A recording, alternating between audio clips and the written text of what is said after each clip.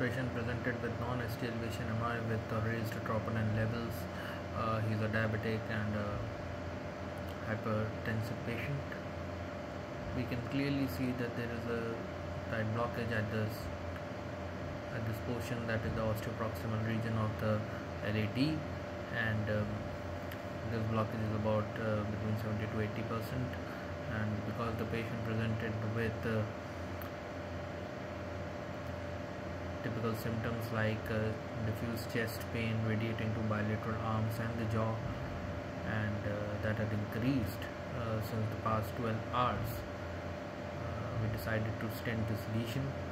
Also because the patient was already on uh, GDMT and uh, he was already on full dose of antiplatelets dual antiplatelets and nitrates with trimetazidine and still not uh, the pain was still not controlled. So we decided that uh, this lesion needs to be addressed. Also because the troponin was raised and uh, the severity of the pain had increased so stenting the lesion was deemed necessary. Also you can see that uh, it was such a tight lesion that uh, patient had a slow flow in the LAD so a much clearer picture of the extent of the LAD lesion can be uh, seen here. Uh, the left main was short.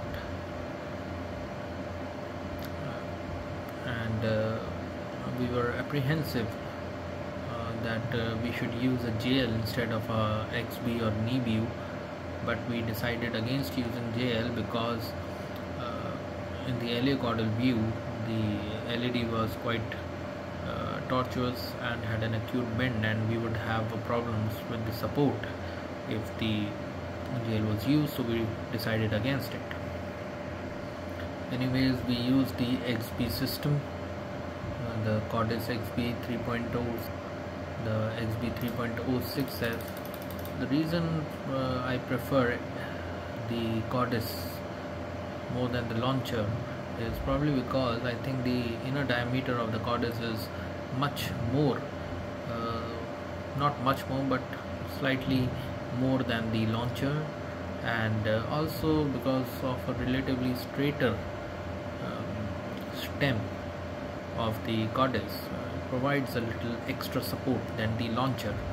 However I think uh, it comes down more to personal preference and either of them would have been correct so uh, a BMW PTCA wire was used is the BMW PTCA wire. And uh, measuring the lesion is very important. We opted for a direct uh, stenting technique.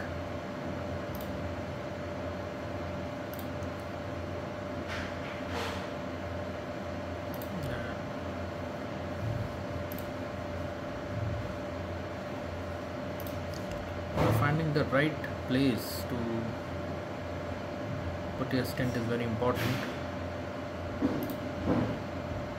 And uh, we wanted to nail the ostium sometimes it is very difficult to nail the ostium uh, but we wanted to avoid the left main because uh, the LCX was relatively uh, free of disease and even though the angle is very good there was still uh, the risk of pinching of the LCX and also because the future interventions that might have uh, might be needed in the LCX or maybe someplace else in the future.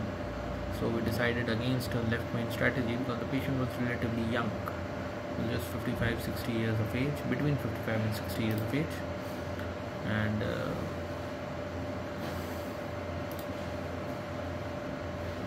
so we inflated the stent this is a everolimus drug-eluting stent and um, we inflated the stent at about uh, 12 atmospheric pressure. Uh, this is a 3.5 by 32 millimeter long stent you can see it is well expanded. And we get a better flow now. We've used the stent balloon again and uh, we've uh, used the stent balloon to inflate the stent again at uh, 14 atmospheric pressure. For we generally inflate the stent uh, for about 20 to 30 seconds each time. Good flow has been achieved. And you can see that uh, the stent is opened very well this distal segment did need some post dilatation and we post dilated the stent. Uh, this is a 3.75 mm balloon and um, we've used a stent boost to see. So we're using it to the 3.75 mm NC balloon to dilate the stent doing we generally stent uh, we generally post dilate for uh, 20 to 30 seconds each time.